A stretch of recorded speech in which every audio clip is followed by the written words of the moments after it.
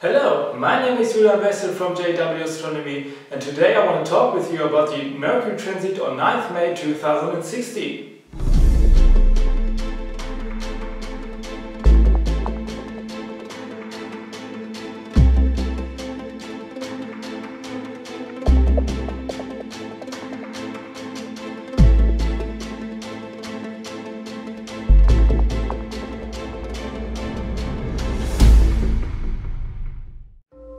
On 9th May 2016, Mercury will do a strange thing. It will pass in front of our Sun, what is called a transit.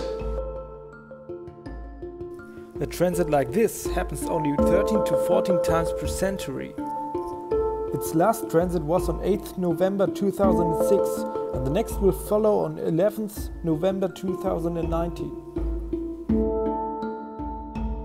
You can imagine this event like an eclipse when the Moon covers the Sun, but different to the Moon, Mercury covers less than 1% the light of the Sun. That's why you won't notice the event unless you have a telescope. The whole event will last about 7.5 hours. Mercury will appear as a very small black dot crossing Sun's surface.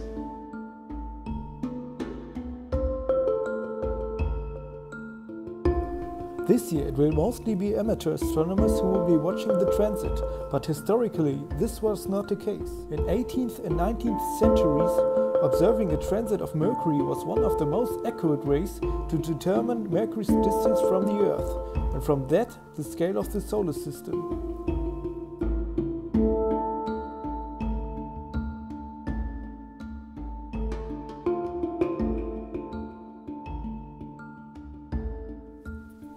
The entire transit will be visible in western part of Europe and Africa, as well as on the east of North America and South America.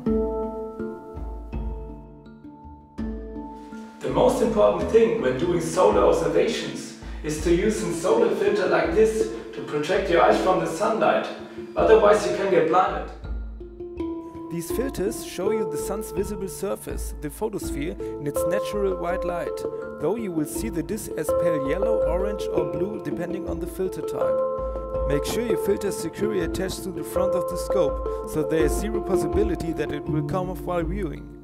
And to avoid damaging your finder scope, either remove it or place a cap or a solar filter at its front end. I'm really looking forward to this event and I hope you will enjoy it too. Thank you for watching.